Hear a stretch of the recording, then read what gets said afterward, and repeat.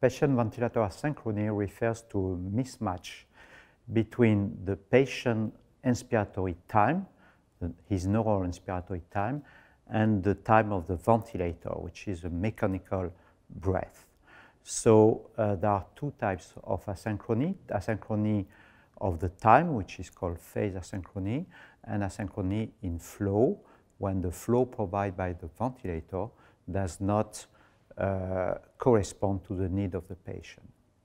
So in terms of phase asynchrony, uh, we distinguish the asynchrony when the ventilator starts later than the patient of the effort, or when the ventilator starts by itself. It's called auto-trigger. At the end of the breath, there is a premature uh, termination of the mechanical breath or delayed uh, termination of the mechanical breath.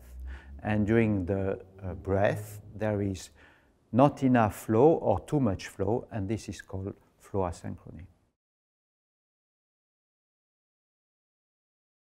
While the impact is, uh, is not well understood. On the short term, of course, if we have a lot of asynchrony, the patient is can be very uncomfortable, and then it impacts the tolerance of the treatment.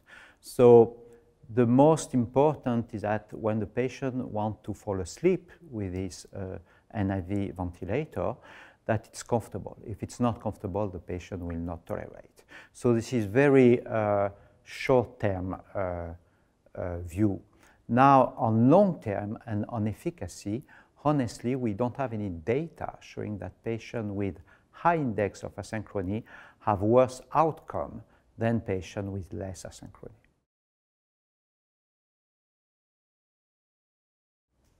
Well, it's impossible that patient is totally uh, well synchronized 100%. So we have to accept some kind of asynchrony. I don't know how much is acceptable, and it's probably different according to patients. I mean, easy to ventilate patients such as COPD or obese patients, usually we target 80% uh, of synchronization. Now, if we have more severe patients such as severe COPD or severe neuromuscular patient, then we accept a high level of asynchrony, and sometimes it's a goal to provide a mandatory breath, meaning to support the patient fully, which means 100% of asynchrony. Well, probably the most common is ineffective effort. So uh ineffective effort probably should be uh, avoided as much as possible.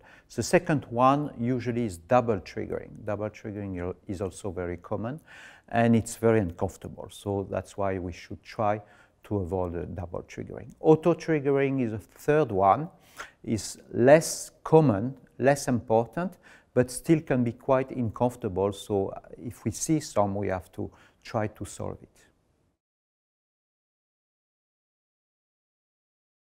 Well, most of the time, uh, the first step is to look at leakages. If we have a lot of unintentional leaks, then this creates a lot of asynchrony. So the first step is to try to prevent and to correct leakages. Then the second step is to look at upper airway obstruction that per se creates some asynchrony. And the third step, if we don't have leakage and upper airway obstruction, is to adjust the ventilator settings, mainly the inspiratory trigger and the cycling criteria. Yeah, the, the, very recently there was a, a, paper about PVA, which is great. It's published in Thorax this year, in 2019, and the first author is uh, Jesus Gonzalez.